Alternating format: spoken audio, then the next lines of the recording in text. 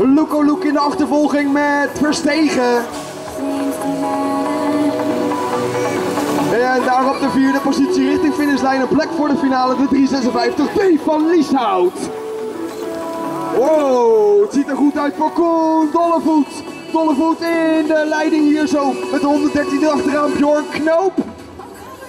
Knoop en Tops en de Bie en Berendonk. Dat zijn de mannen in deze halve finale. Plaats 2 Knoop, plaats 3 Talent Team BMX Pieter Daredevil van Langveld. Het Tops is helaas gezien. De man die wel doorgaat bij de finale is de 241. Ricardo de Bie. Wauw, open klasse 16 plus halve finale van...